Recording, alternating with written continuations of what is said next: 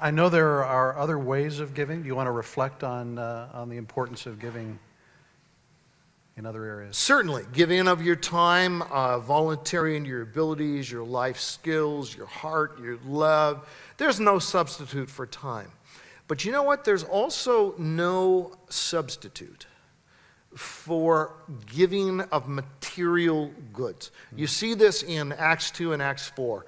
Uh, th- many of these were not wealthy people. Sure, you see somebody like Barnabas, and he sold his land, uh, apparently a large amount of land, gave to the poor. A lot of the people were liquidating their assets to voluntarily. This was not enforced socialism, this was their choice. They felt God leading them to, to do this thing.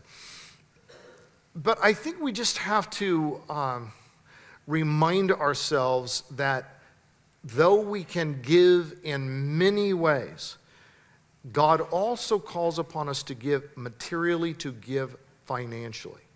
I also think one of the things that we're missing out in the church, the body of Christ, in the Western world, is the gift of giving. When we talk about spiritual gifts, there's four uh, New Testament passages where gifts are spoken of. And in one of those, the gift of giving uh, is mentioned. And that's the, the list that's in, in Romans 12.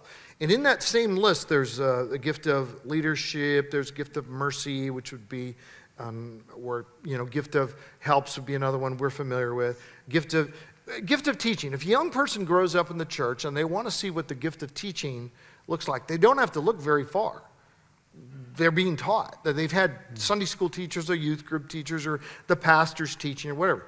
They see leaders. So there's elders or there's deacons, there's other people in leadership roles, women's ministry, whatever it is. Um, mercy. That one is probably fairly self evident, and they see people with compassion. They're going down and working with people in the inner city, and they're going overseas and the mission trips, and, and, and gift of evangelism, and people they're sharing their faith and all.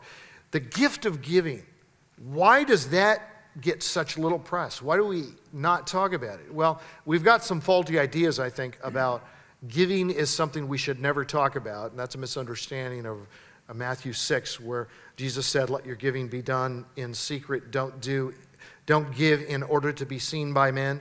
But in the same immediate context, maybe seven or eight minutes earlier as he was delivering the Sermon on the Mount, he says in Matthew 5, Let your light shine before men, that people may see your good deeds mm-hmm. and thereby glorify you? No, mm-hmm. glorify your Father in heaven. And I think um, one of the questions we should ask ourselves is if God's going to give you a gift, isn't he always going to give you resources that would help you in the exercise of that gift. Well, when we are by far living in the greatest abundance of any culture in human history, there's just a few other Western nature, nations that would you know, compare with us in that regard.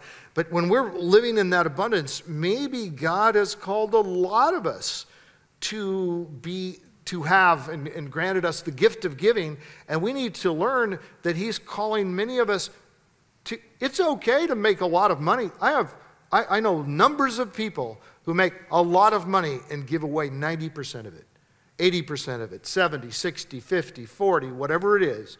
Don't think in terms of, oh, like the ultimate thing to, to aspire to is the tithe. I mean, if God has entrusted substantial wealth to you, why not draw the finish line and say, hey, this is all we need? We don't have to uh, keep anything beyond this.